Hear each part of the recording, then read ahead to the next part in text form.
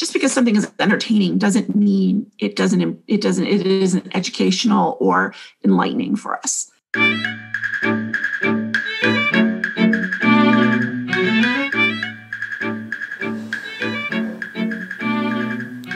Welcome to Story Power, a bi monthly podcast where my guests and I geek out about the stories we are passionate about in all different genres, styles, and formats.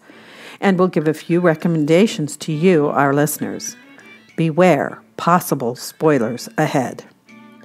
My name is Lucinda Sage Midgorden, and I started this podcast during the COVID 19 pandemic. As I watched the reaction of my social media circle, I noticed that many people turned to stories for comfort and help in making sense of the craziness going on around them. And as all good stories do, the world got even crazier. But, as Neil Gaiman says, fairy tales are more than true not because they tell us that dragons exist, but because they tell us that dragons can be beaten. Since I believe that stories have the power to show us the way and give us courage to keep going, I wanted to see if that was true for my guests as well. Today, my guest is Alex Felton, and she works at the library at Cochise College where I teach. And Alex, I think though we met when my husband was involved in empty bowls, and yes. you were making bowls for that. Yes, I uh, I had started taking ceramics a few years after I started at the college, and knew Virginia, one of the ceramics instructors, real well, and she got me involved with empty bowls, and that's where I met your husband, and then you. And I'm sad that they aren't doing empty bowls. This they had to stop doing it at the city studio because something about the financial thing with the the city. And then Virginia was going to take it over but covid hit. So unfortunately yeah. well they'll start it again. Yeah. oh, I enjoy it. I think it's a wonderful community event um, that really brings people together. Plus it's feeding people and that's one of the most vital things that we can do is make sure people have food yes well, and you know, a lot of community organizations were involved in it. So I'm I'm looking forward to that starting again. Me too. So the reason I asked you to be on the show was our fun conversation that we had during the summer when you were helping me figure out all the movies I was going to show and just in dramatic structure. Mm-hmm. And you and I just talked and talked and talked about the movies and movies that we loved. And I was wondering you since you work at the library, you must be a reader as well. So I wanted to know how you got hooked on stories. Yeah, I, I, I have been a huge reader all my life. Um, it's odd, and now that I'm a librarian, I don't read as much as I used to. Oddly enough, but I have, have been a huge reader all my life. In fact, I think it's goes all the way back to before I could even read. My mom read to us, and my dad told us stories about his his life that were fascinating. So those two things combined, I think, really kind of ignited a spark in me of of oh, there's all these different things that are going on that happened or didn't happen but could happen yeah.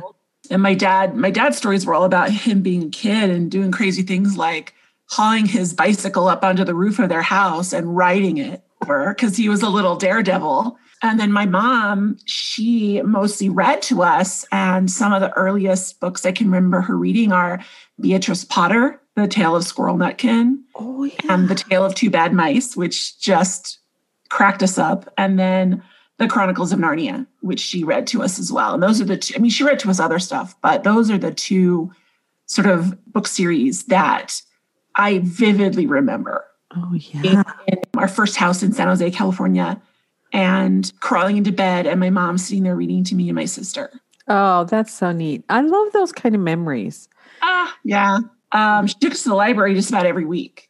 Oh, wow. Yeah, when we could go. I mean, sometimes I don't know if it was every single week, but it felt like every week to me. Mm-hmm. And she would take us, us down to either our local branch or the main branch in San Jose, and we could pick out books. My mom said you could get 10 books. And I remember a, a time, it was probably second or third grade. She's like, You need to make these last, Alex, because we're not going back for a week because I would read through my books so fast that by Wednesday or something, I'd be done And then I'd be like, can we go back? I love it. That's so great. It was wonderful. And and yeah.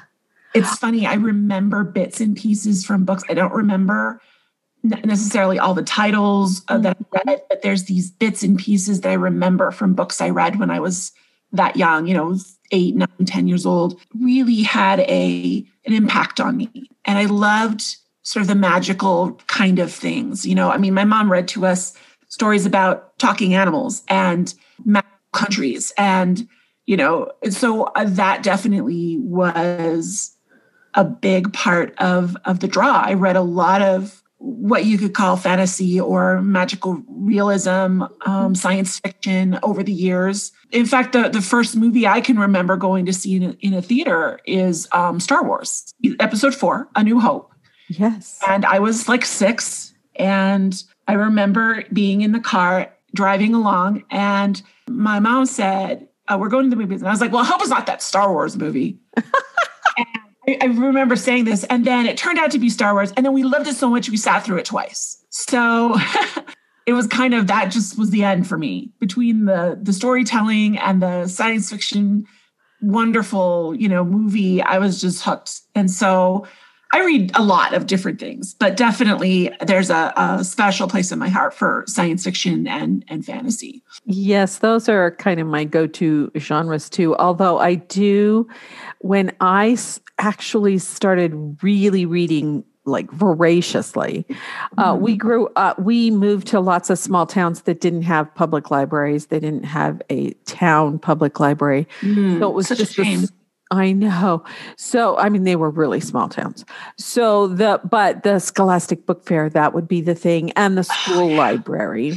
But when I was in high school, my mom started giving me these romance novels. And I read about 10 of them and I said, These are all the same. And I'm really bored. Well, about that time, they started doing these high end mini series. And I remember one of the first ones was Centennial. Richard Chamberlain was in it. Oh, Richard Chamberlain. My mom like, loved that. Yeah. He was like the star of all those because I I own Shogun. I loved it so much with mm-hmm. him in it. Um, but uh, Centennial, and I loved it so much that I went and got the book. And so I read several of James Michener's books until I got to Hawaii. And then it was like the descriptions of the flowers and the descriptions. Of, and I just went, oh, come on, let's get on with the story. yeah. But I read two or three uh, or maybe four of them. Caravans was one. Um, so historical fiction. And then my mom really loves mysteries. So at some point, mm-hmm. I started reading those too.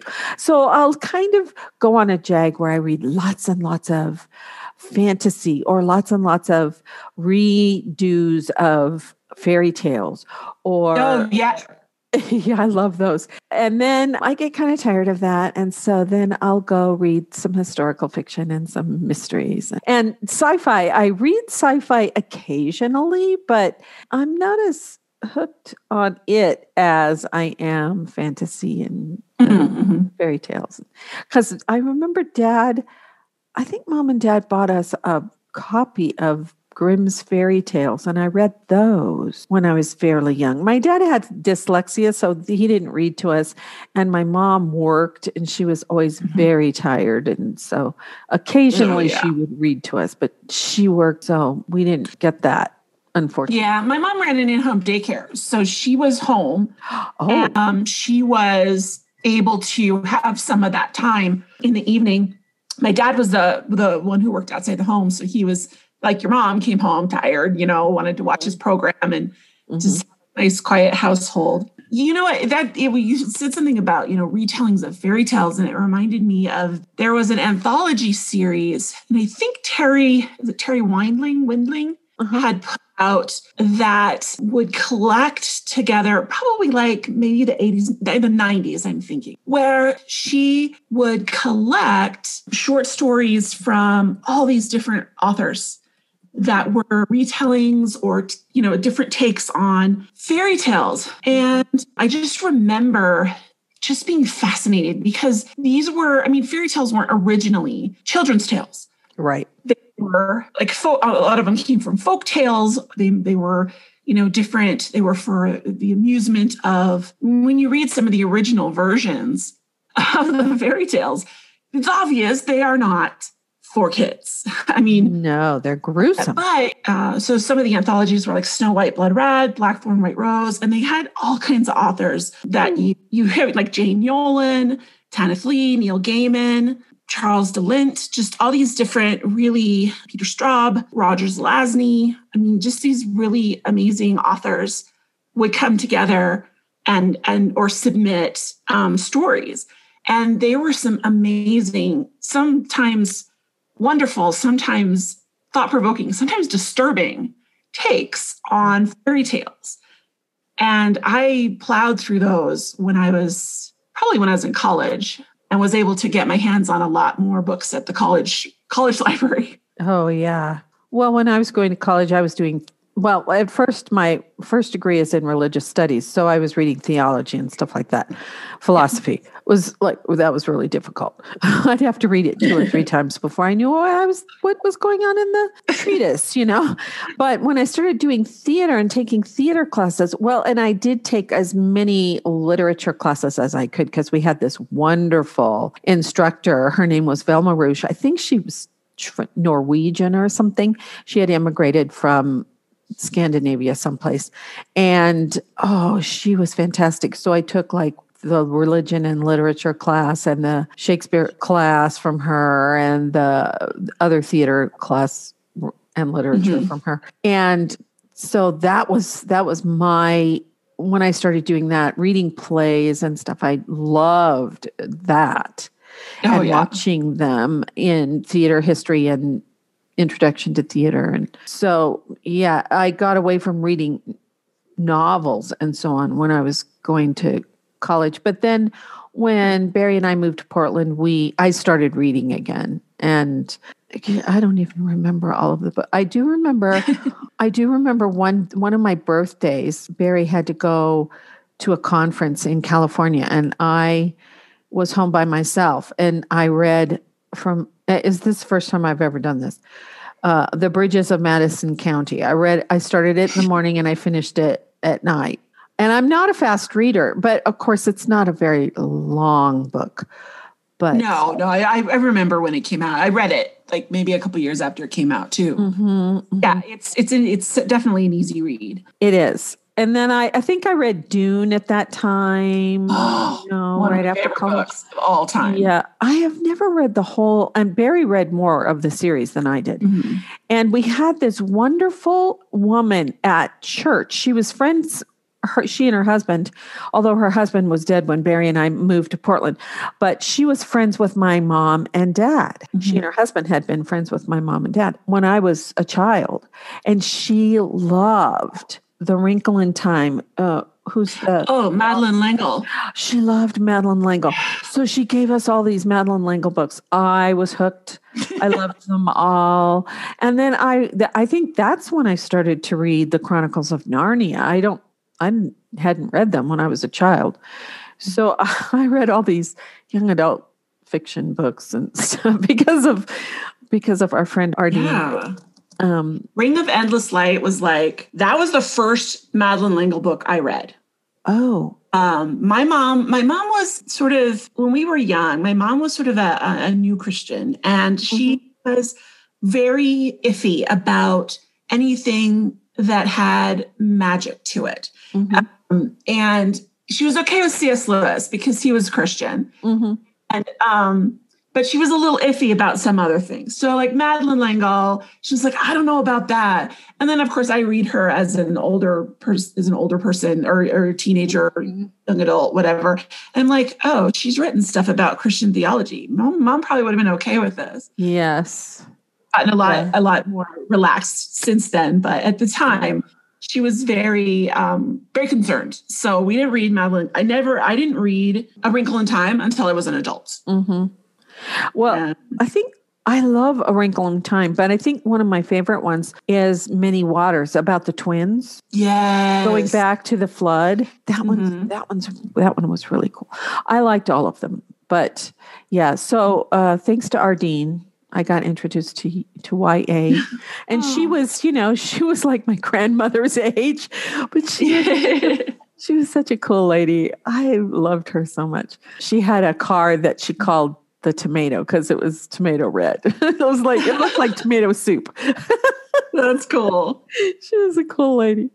Yeah. So I was going to say to you, you know, I don't know if I said this when we were talking about all the movies that I was going to show in dramatic structure, but I got hooked on movies, on stories through movies, really, mm-hmm. because my dad was so good at reading body language and facial expressions and stuff. So we would watch when we were younger, we would watch the the Wonderful World of Disney or something like yes, that. Yes, yes. Uh-huh.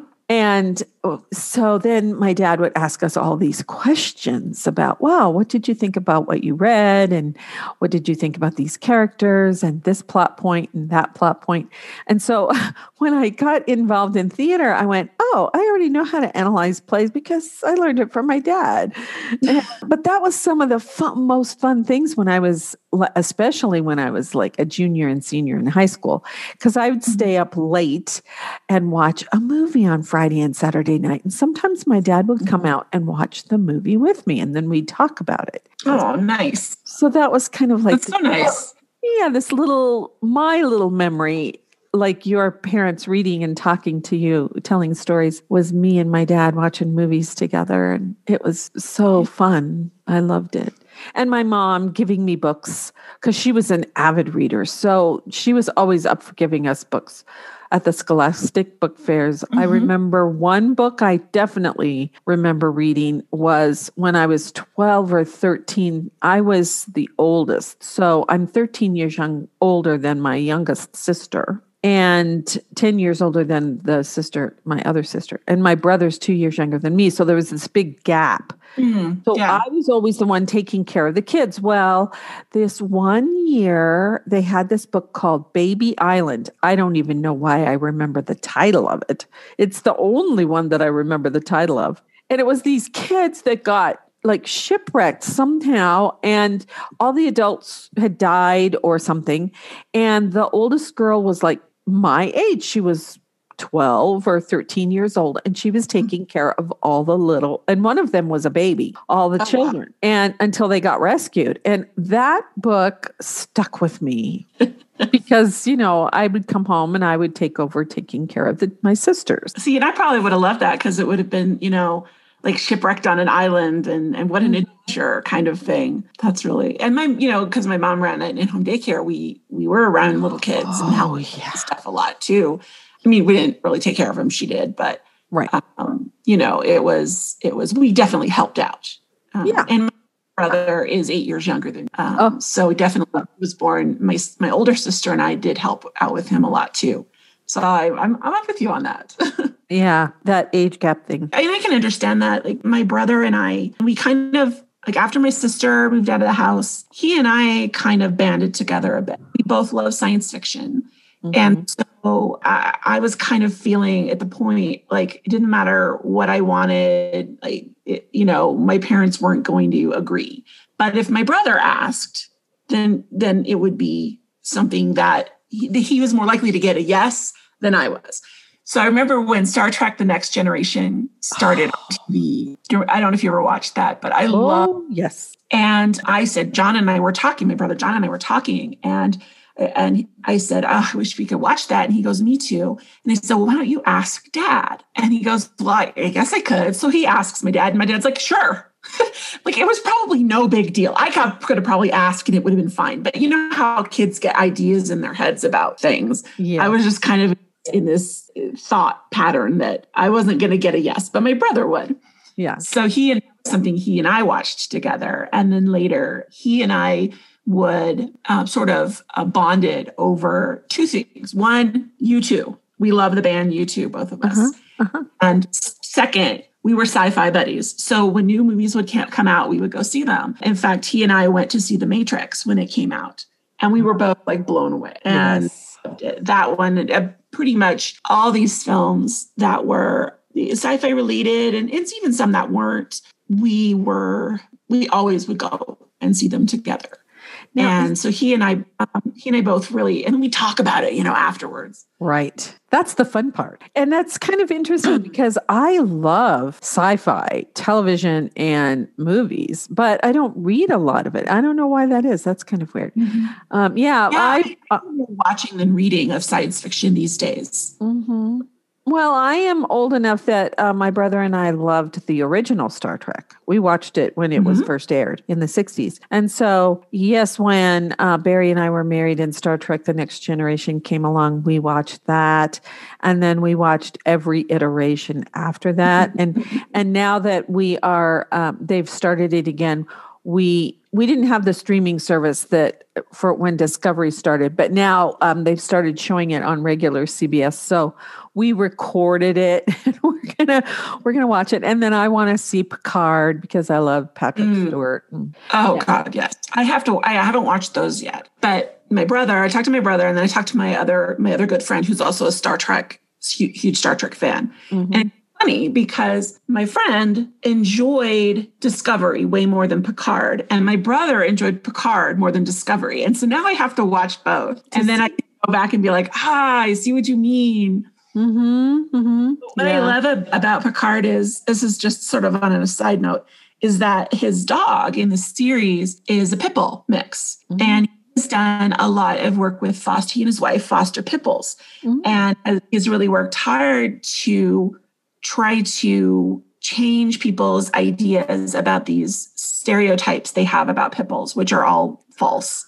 Yes. Um, and my sister does pit bull rescue too, and so she has a she has a pit bull mix, um, pit bull Shar Pei mix, and he's hilarious, sweetest dog. And it's all about you know bad owners make bad dogs. I and know, so that's right. He was like insistent. He's going to have a dog, and it's going to be the pit bull, and he, you know he's going to be his number one. And I was just I was really happy about that. And if you want to cut that part out of the, the thing, you can. But I was just thrilled about about oh, no. he was showing because he and his his wife love love dogs and they foster pit bulls too because in England they're illegal still. Um, oh, that's right. Yeah, which is why they don't adopt one. Right. They just foster here in the US when they're here in the US. So I do have to watch those two shows still. It's on my list. yeah, me too. Well, Patrick Stewart, almost anything Patrick Stewart does. I Oh yeah. Oh yeah. Yeah, yeah. Definitely. Yeah. And I think you're I think you're right. I mean, science fiction, television has and and movies have been a big part of my life since I was little. Mm-hmm. My mom loved the original Star Trek. Um, and then we watched the Star Wars films and then just anything after that um, that we could get our hands on to watch. And um, even the cheesy sort of A, you know, bunch right in the 80s, teenage, you know, like this last Starfighter and Flight the Navigator and a few ones that are, you know, great. Oh. great movie making, but they're they're good. They were fun. Um, yeah, exactly. Idea that they think of what is going to make a better future too, and I think that's because oh. there's still going to be problems no matter what, but there's what they focus on, like you know, when you erase these these problems, what is, what else is there? So if we don't have to worry about making sure our families are fed and clothed and have some place to live. What can we focus on? What can we achieve? Right. And really love that vision. Yeah. yeah. So when we were talking about movies, you said that you mm-hmm. absolutely love Now Voyager. And I was wondering if there were any other classic movies that you really love. Yes. So my two, I've got like three favorites. Um, and then I've got a bunch of other ones because classic movies, my mom watched them. And of course, even those were classic for her because mm-hmm. um, you know, she was a teenager in the 60s, uh, late 50s, early 60s. And so, but so favorite drama, classic drama, best years of our lives. Oh, I love that one too. Down. I love that film so much. And I think it is still so relevant today mm-hmm. because we have people coming back from the military who've been fighting, who've been traumatized, who have had, and there's stuff in that film. There's people who have lost, there was the, the one young man who lost both his hands. Mm-hmm. And they hired an actual veteran, mm-hmm. lost his hands in World War II. Yeah, I love that. Um, and then the one the one man coming back and trying to resettle into his job with his family. Um, and then the other young, the, the middle, I don't know, maybe it's like 30. And he comes back, and the what and his wife is kind of like not interested. She liked being the wife of a war hero, but she didn't really like being his wife. And she but also, wanted him to make a lot of money. Exactly. And wears uniform all the time. And he's it's obvious when you see the the nightmares and then the the just it's it's PTSD right there. Mm-hmm, mm-hmm. Having flashbacks and he's um, having issues with um, you know loud noises or whatever. And I think that there it's just still so. I mean, there's a reason it won an Oscar. Yeah. Um, and won and, more than one Oscar, I think. Yeah, it was it's phenomenal. I love that film so much. Yeah. Um, and all the actors are so good. I just love yes. all of them. Yes. Oh, me too. Mm-hmm. Um, so second, oh, comedy would be Philadelphia Story. which is just it's just classic. You know, I mean, Cary Grant and Jimmy Stewart, and yeah, and Katharine Hepburn. I mean, it's just it's quick witted, and then there's the weird little sister. I just loved her. I mean, she's she comes into the house on point in her ballet shoes, dances things in French, and then leaves. I mean, just hilarious. And then she's and then she plays that like drinking song kind of. Lydia, oh Lydia, oh do you know Lydia? Lydia, the tattooed lady.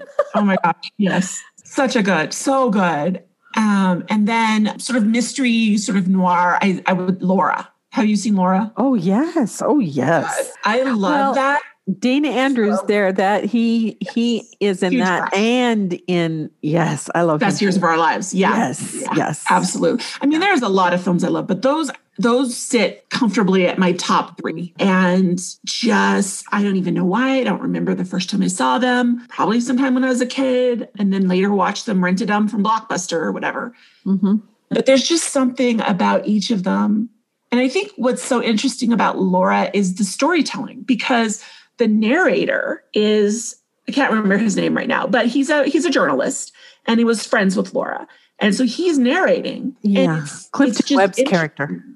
yeah, yeah, exactly. Mm-hmm. And um, he's so good in that. And it's just plus a very young Vincent Price playing a playboy, yeah. not you see all the time.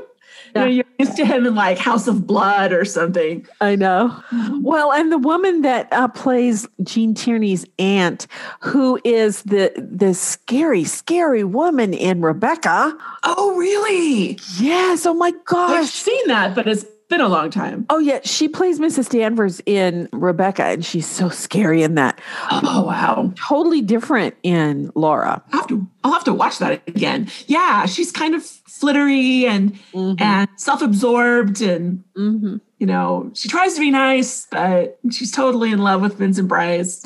Yeah, uh, yeah. I I love when she says to Laura, "I can afford him." Laura says, "Did you kill?" The model that everybody thought was Laura. Yeah. And she said, no, no, dear, but I could have. You know? the way she says yeah. it is so great. Yeah. She just owns it. Like she's she knows what she is and who she oh, yeah. how she acts. And she's like, fine, this is the way it is. And yeah. she cares about her her niece, but you know, it's funny. Yeah. Yeah. And then and then Alfred Hitchcock, always a huge fan of, of a lot of his his mm-hmm. films. Though I didn't see Psycho for a really long time because just the thought of it scared the heck out of me. It is um, pretty scary. Yeah. Yeah. Um, but yeah, there's some there, you know, um, Ingrid Bergman and um, Gregory Peck. Oh, Gregory Peck is my all-time favorite. Where he's an insomniac, and I can't remember. I can't remember. Spellbound. Thank you. Yeah. And with the Salvador Dali dream sequence. Oh, that's so like, cool. Literally, it was Salvador Dali who, yeah. who, who, was the designer for that. And I was like, geez, that's interesting. Yeah. Yeah. They had a good chemistry. Plus, mm-hmm. he's so dishy. I just could watch him anytime. Oh, I just love him. Uh, I'm collecting all of his movies because mm-hmm. there's there a couple where he plays a bad guy that I can't watch him, mm-hmm. but everything Boys from else. Boys from Brazil where he's like Mengele or something. Right, and then there's another one called oh he, Jennifer Jennifer Jones is in it and Joseph Cotten, and it's a Western. Duel in the I love Joseph that's- Cotten too. Okay, Duel in the Sun. I haven't seen that. I'm not a big Yeah. Western fan, and I think that's why. I could not watch it because they should, in my opinion, Joseph Cotten should have been the bad brother. They're brothers. Yeah. And Gregory Peck should have been the good brother. So I don't watch that one. Yeah, Joseph Cotten was a good bad guy. Well, he was a good, good guy too, because I love him in Gaslight. Oh, I haven't seen that. Oh, Gaslight with Ingrid. it. I know I know about it, but I can't believe I'd seen it. I have to go. I have to go watch that one. Oh, yeah, it's really good. Um, and- but I was and- thinking about him in um, Shadow of a Doubt. Oh, right. Oh, yes. So good in that. He is good in that. Yeah. It's interesting when when when actors play against type. Like um, Richard Widmark played a lot of bad guys, and but there's a film where he's um, called My Pal Gus, Mhm. um, which if you've never seen, um, it's hard to get. a hold I have a copy of it, but it's hard to get a hold of. Where he plays a single father of a little boy named Gus, and he's he's he's struggling with being a father. And what he does is he throws money at the problem. And it's sort of how he gets realizes how to be a, real father. And it's really it's cute. Um, and it's it's pretty well made, I think. But he's just this, I mean, he's kind of a jerk at first, but then, you know, he kind of realizes how much he really loves his son and how to be a better father. And it's it's like completely against type, you know, see him being like this crazy bad guy. Well, I've seen him a lot, and he does play good, good guys too, because I Mm-hmm. love him in Cold Sassy Tree. Oh, I haven't seen that. He was quite old when he I made love that book. Oh yeah, and Faye Dunaway plays the um, milliner who he Mhm. marries, and Neil Patrick Harris Harris plays his grandson. it Oh, was a made for TV movie, and oh man, he was in his seventies, late seventies, maybe early 80s Mhm. and. I, said to my sister, I don't care. He's still sexy.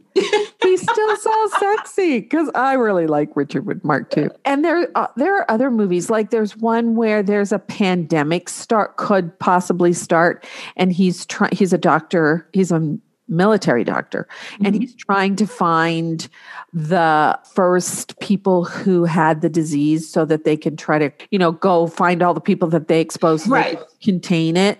I can't Mhm. remember the name of that one. Prescient. Yes, yes. I, cannot remember the name of that one, but he's really good in that.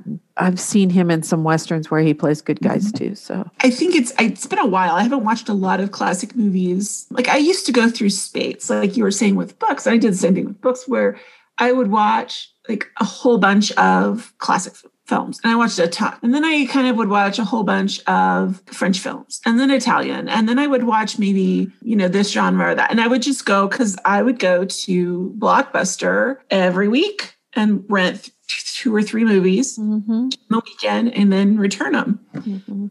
um, I wasn't a party person. so I had a lot of time to watch films. that's Um, right. I'm not yeah. a party person either. Yeah.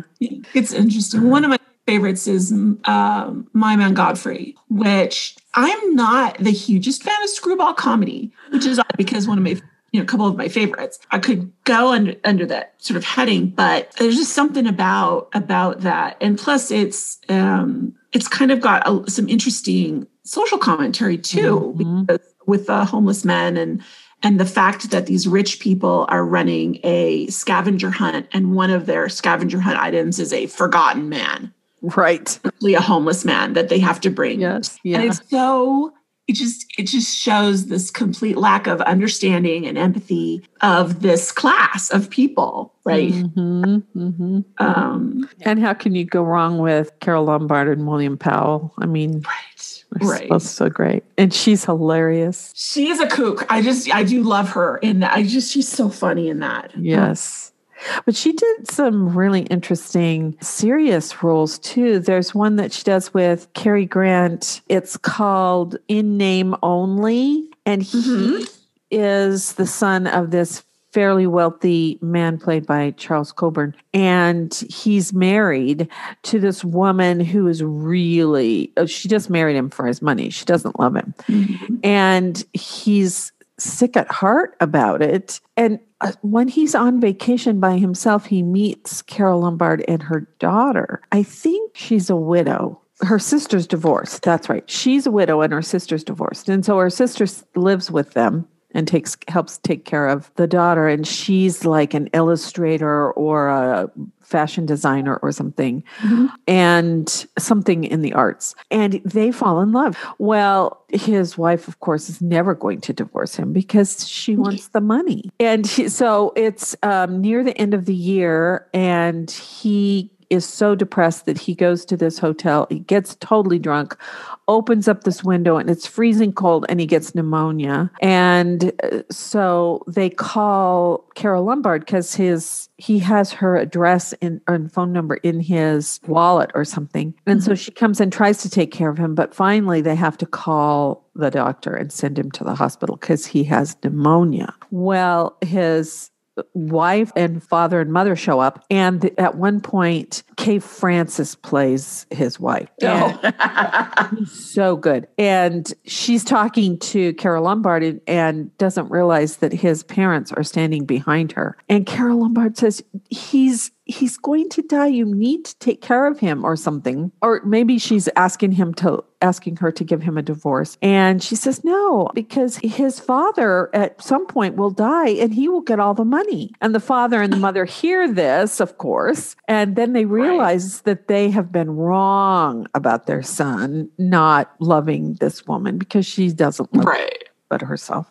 It's just such a great movie. I actually, ah, I've never seen it. I, I it doesn't even sound familiar. Oddly, I have to. I'll have yeah. to dust for that one. I was trying to get another movie and I accidentally got that one. Mm-hmm. I, maybe I, I actually I think I was buying it for my sister for Christmas and I accidentally bought it for myself and then I had to buy another copy for my sister because Cary Grant and, and, Gregory Peck those are my two favorite guys. Oh, I love I love um, I love them both. Yeah.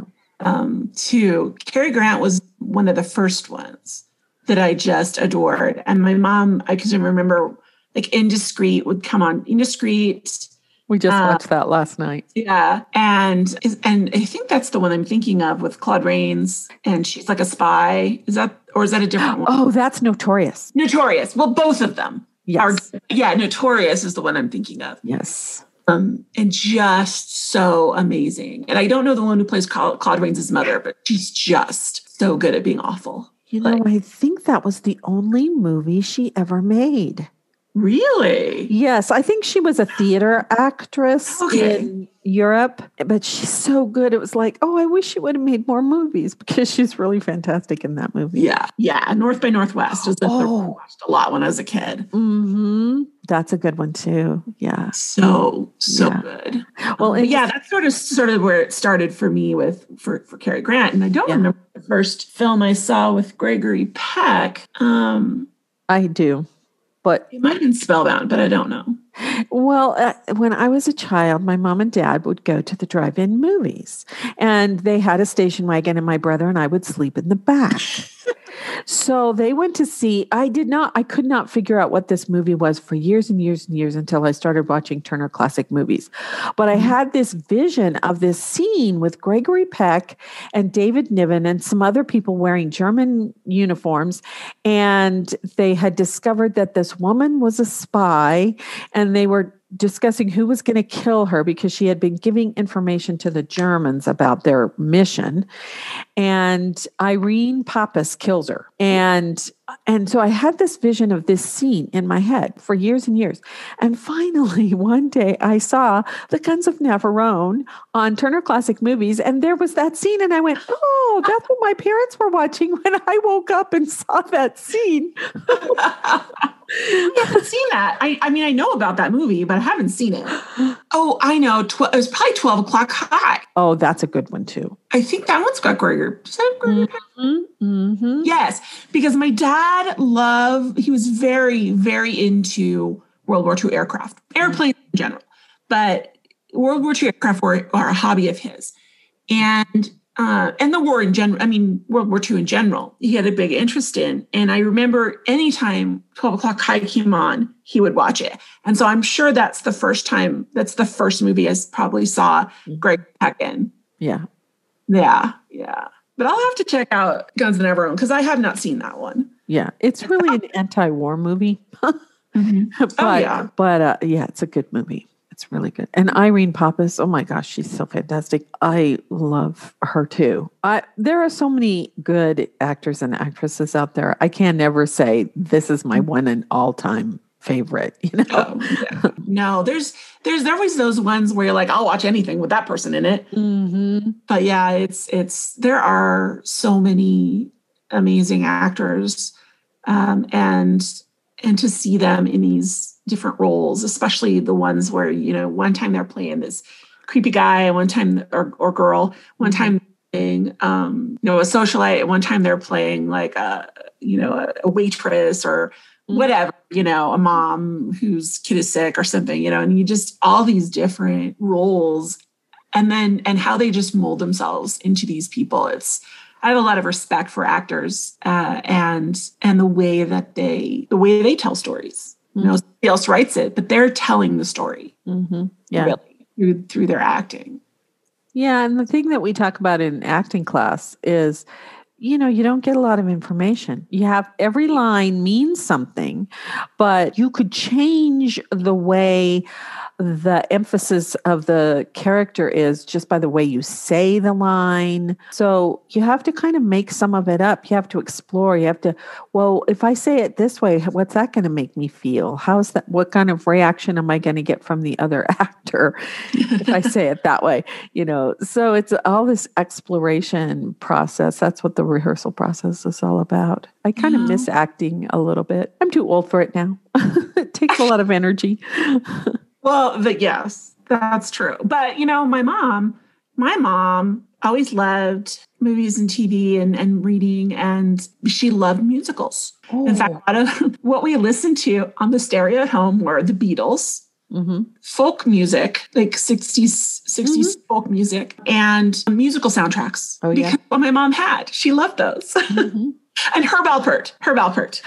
oh, right. Yes. Tijuana oh. Brass. Yes. Oh, yeah. And so, yeah, she, after she retired, um, and actually, yeah, she was in her 60s, I guess, she um, started auditioning and started being in, in plays and mu- musicals mostly at the local theater, the Imagination Theater in Placerville. California. She was just, she wanted to do it. And she did it for probably 10 years. And then she hasn't recently, but she was in a bunch of different ones. Um, she was in um, Annie, Music Man, I think, Les Miserables. Uh, they did an Alice in Wonderland where she was Tweedledum. Oh wow, how fun! Uh, so funny. She and her her co-star were great together uh, as the Tweedledee character. And oh, Big River. Oh, and yeah, and then there's another one that I can't think of right now, but she just loved it. And she was not, she was like, I'm just going to do it because I wanted to do this all my life and I'm going to do it. And so she did. That's and um, really loved it. Yeah. I did it when I was young and now I'm doing this when I'm old. yeah.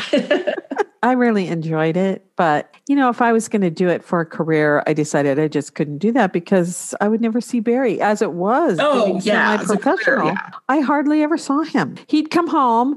We'd have maybe 45 minutes to eat dinner together. And then I'd be off to rehearsal and I'd get home at 11 or 1130 and he'd be oh. asleep. And then he'd wake up and leave at seven and kiss me goodbye. And you know, it was oh, like, I, that's hard. Yeah. And I miss lots of like family weddings and other things. And I said, mm-hmm. you know, I think I just don't want to do this anymore. Yeah. So getting to teach theater was fun because mm-hmm. it was still my connection, but I didn't have to be there all the time. It was only yeah. when I was directing a play once a yeah, summer. The 12th night production was so much fun. I enjoyed that a lot. Yes. It's one of my favorite uh, Shakespeare plays, but it was it was just you guys uh, the way you the way that you all staged it and the casting and the acting it was fun. It was a lot of fun. Yeah dave is so talented. He's really talented. So and i he helped me with measure for measure too so. Yeah um, sadly i missed that one. Well we only did a couple of performances and i should have done more. I should have done 2 mm-hmm. weekends for performances mm-hmm. but well i yeah. think that was the year i had valley fever. So i wasn't much of anything oh no yeah oh dear that's sort of my swan song because dave now is getting his master's and he'll probably take over for me when he finishes. And I can do this and write my blog and my books. This has been so much fun. And I was wondering if you had anything else you wanted to say. Um, I I was totally. It was lots of fun. I really I really have enjoyed it. I I've forgotten how fun it is to talk to somebody else about books and movies and stories, and how much I I enjoy the storytelling. I think that just to just the last thing I'd like to say is I think it's uh, really important that stories are much more important than we think they are. And telling your kids stories and reading to your children or, or having encouraging them to read is way more important than we realize. For one thing, they have shown that children who are read to and or read tend to develop empathy at a higher rate than kids who don't read. And that reading fiction can help develop interpersonal skills can help you better understand other human beings. And, that there, there have actually been studies that show that. And so when people tell people, why are you just reading a book? Go do something productive. Well, yeah, I'm doing something productive. Mm-hmm.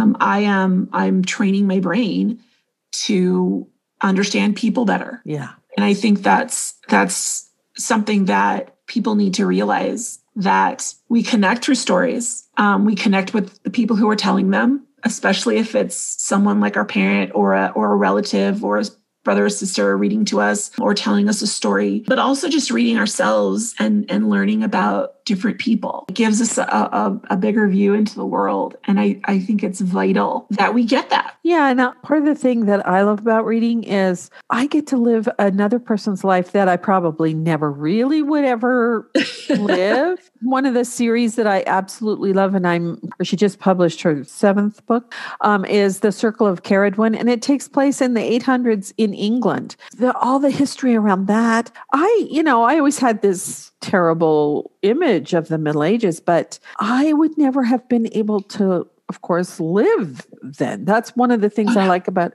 historical fiction is another one of my favorites is ellis peters the cadfael series that takes place in the 1100s and his herbology all of the things that he grows to help heal people. I mean you know. yeah i don't want to live any time before antibiotics. Yeah but it's very interesting to learn about how people lived at those yes oh yeah so or in different parts of the world too yes. that's that's another thing that's so cool is being immersed in another part of the world or even a part of the world that is in our country like when i read the water dancer by Ta-Nehisi Coates. Oh, Ta-Nehisi Coates? Yes. Oh my gosh, that's such a great book. And then The Hate You Give. I mean, you know, those mm-hmm. are cultures I, that I don't know anything about really, but oh man, such yeah. great books. Well, right. And, and also that gives you um, a sense of, especially books like those, where this is the United States. Mm-hmm. And this is not the United States we're used to, mm-hmm. you know, being white middle class right. who live in and, and academics and we did we live it's a very it's a different culture than people who live in other economic statuses or or who are black or or brown and who are living a very different reality. Yeah. And i think it's so vital for us to know I, I mean, prior to several years ago, seven or eight years, I didn't realize, I, mean, I knew racism was still an issue, but I didn't know it was that big of an issue. I did not have the full picture right. and understanding. And of course, I had the luxury of not paying attention. Right. Like I was trying not to, you know, be aware, but not knowing, I had the luxury of not knowing. And it right. would impact me personally. And then learning more about about sociology and society and the way that people are treated, it just it was such an eye opener. And so books definitely, I feel like it's like, why wasn't I reading more more stuff? I know. so I'm sort of on a I want to read more things from around the world, not just yeah. not just white people oh, books. Yeah. yeah. so definitely. I think that's a really valuable thing. Plus, you know, it, it can be just because something is entertaining doesn't mean it doesn't it doesn't it isn't educational or enlightening for us. Right. And I think that when I was a kid, there was a real sort of attitude amongst a certain subset of the of, the, of society that was like, well, if it's fun, it can't be edifying. Right. And that's just super wrong. Oh yeah, really. I mm-hmm. think so too. I think so too. Because you learn, I mean, if the movie makers or the author or who the playwright or sometimes even visual art does this, is if they bring you into their world, then you learn something. Yeah, yeah definitely. Well, thank you so much. I appreciate you talking to me. Well, thank you, Cinda. I had a lot of fun. I really enjoyed, like I said, talking about books and stories and made me remember how much I love it. Feel like I don't have time to do things. I need to go and take time or make time spend with stories. Yeah.